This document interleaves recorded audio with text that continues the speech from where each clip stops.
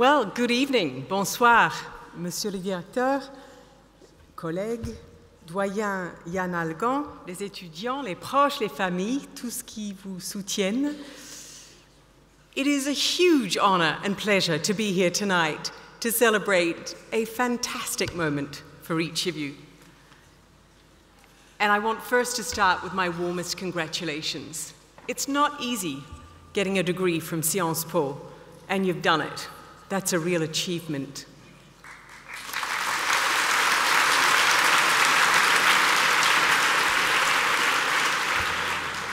Now, what I'd really love you to do is to turn and applaud not the students in the room, but first their parents, their supporters and their family, and then their fantastic professors. So, students, why don't you applaud them?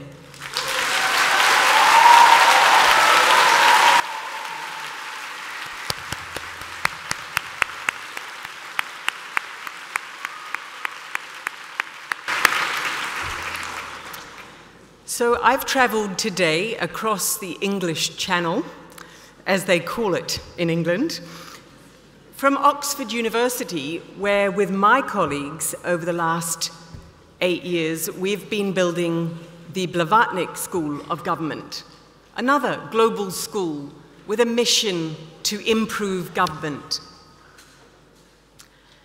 And I will confess that in the course of building that school, I first met your dean, Yann Algan, but he wasn't yet at Sciences Po, and I was very keen to recruit him to Oxford. I'm very disappointed that we, that we didn't succeed, but I am delighted for you.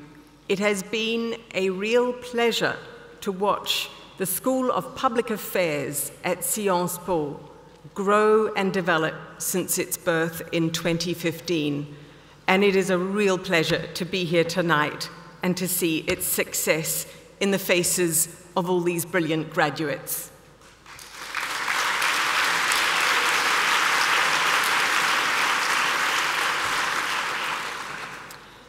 Yann Algan said already tonight that you are graduating at a time of real challenge as well as opportunity.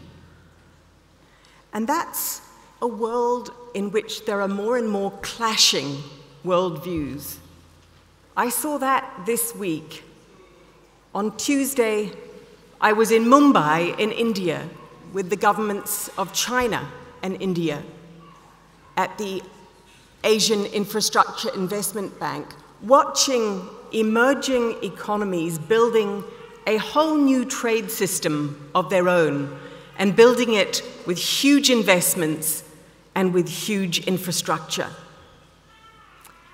You can perhaps imagine my surprise when I returned to the United Kingdom on Wednesday morning to meet and to listen to a British minister who was arguing that Britain could lead the world once it's outside of the European Union.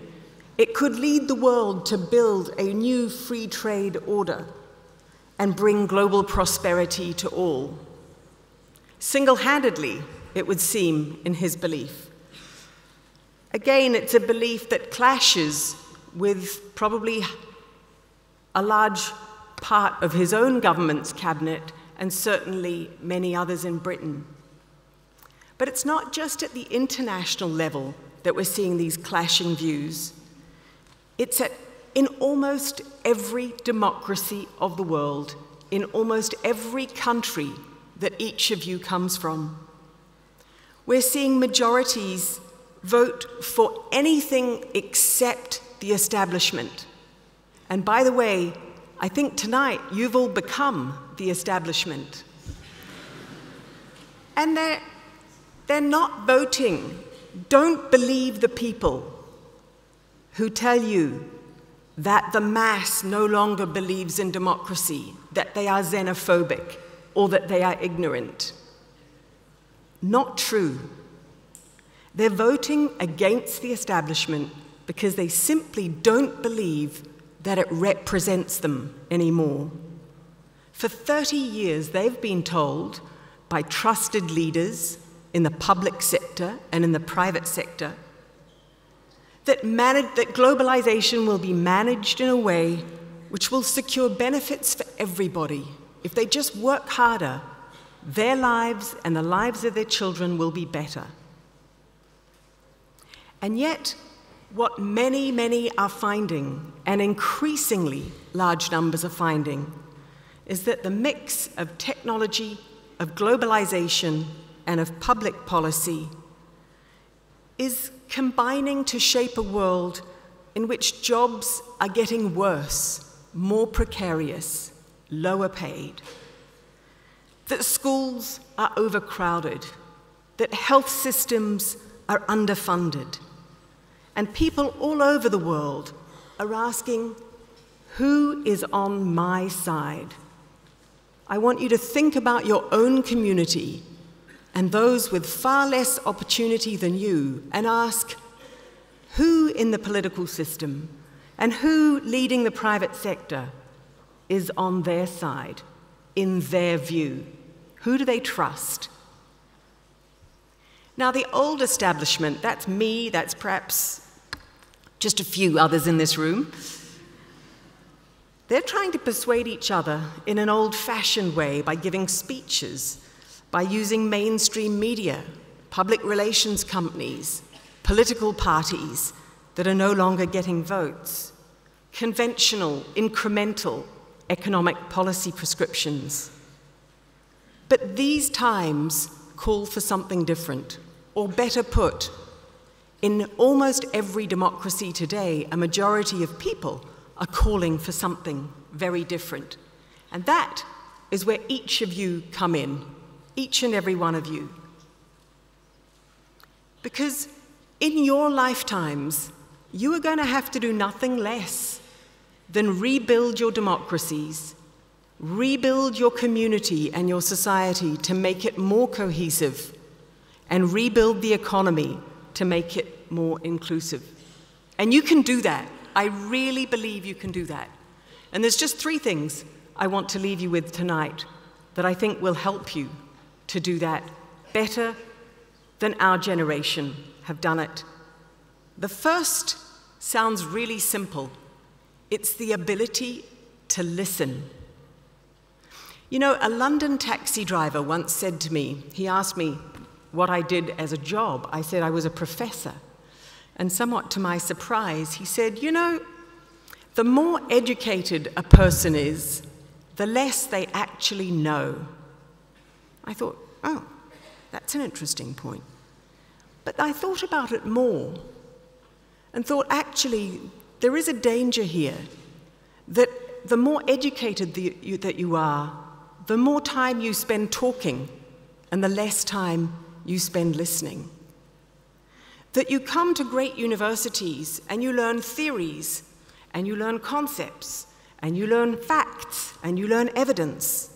And then there's a little risk that when you go out into the world, instead of really listening and observing things that you don't know, you squeeze them into your grand theory, you squeeze them into your data set, you squeeze them into what you've learned. And that might explain why the establishment failed in the United States to understand why people would vote for President Donald Trump. It might be why the establishment in the United Kingdom failed to understand why people would vote for Brexit. They were perhaps too educated to remember to listen. I know you'll do better. I hope you'll do better. And what will help you do better is if your team itself is every bit as diverse as the community you're trying to represent.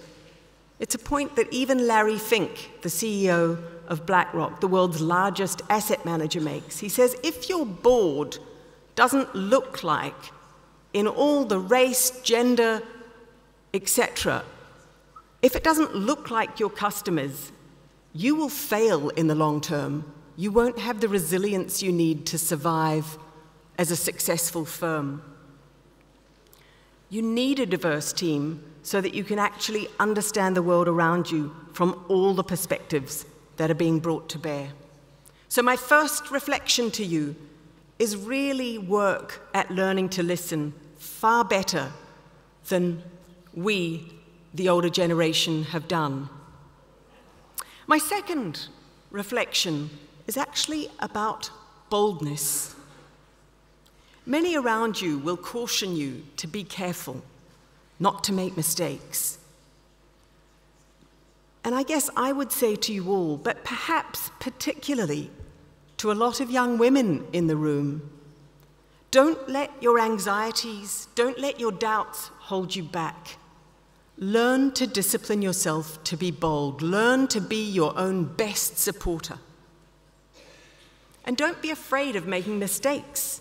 It's by making mistakes that we learn really quickly. When I first arrived in the United Kingdom as a New Zealander, I got all confused with these titles that the British love to use. In fact, I watch students in my school get confused every year.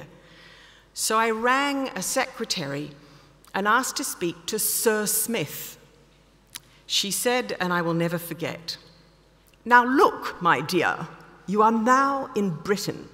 You must understand that it is Sir and then a first name, or Lord and then a second name. Do you have that clear? I got it clear. If I hadn't made that mistake, I would never have got it so clear. So even little mistakes are worth making to learn quickly. But the other thing I want to say about boldness and mistakes is try to make your mistakes original. And what does that mean? It means do your homework. Don't, make, don't ever make the mistake of thinking that you're the first person ever to try something. Instead, if you want to educate children in a refugee camp, before you set up your own NGO or, or startup to do it, ask yourself who is already doing this that's the best in the world, and how can I join them and learn from them? In computer science, it's called standing on the shoulders of giants. But for each of you, it's simply saying, when you embark on something, ask, who does this best? What can I learn from them? And what mistakes do they make that I can avoid so that I can be bold enough to make mistakes, but my mistakes will be original?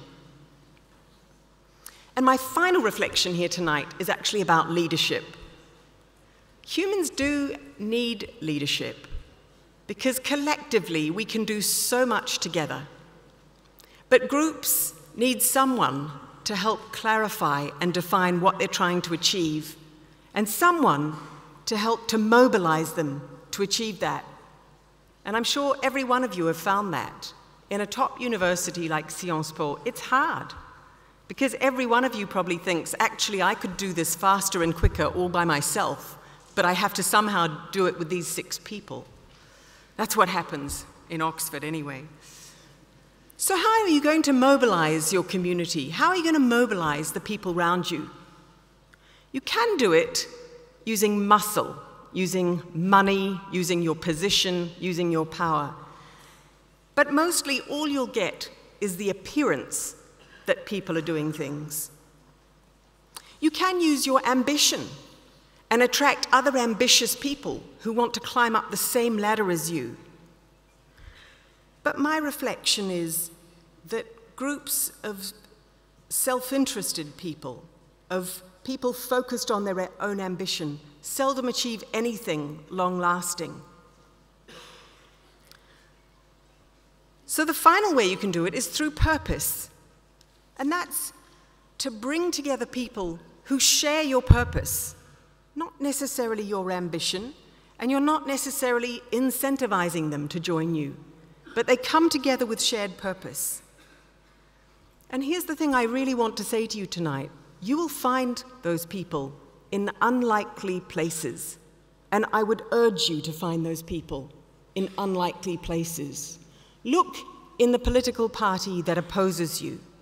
Look in the religion that's most different to your own. Look in the countries that you think might be your enemies. Look in other groups that you think are oppositional to you. Because if you can learn to find coalitions in unlikely places, the people that you are astonished to find yourself working with, you'll achieve change that's far more lasting and far more meaningful. So, graduates of 2018, I want to just say have fun, be joyful. That's going to be your best mobilizing technique. Make mistakes that you can learn for, learn from. Learn ever better to listen and go ahead with all the boldness it's going to take to make a positive difference to the world. I salute you all. Thank you.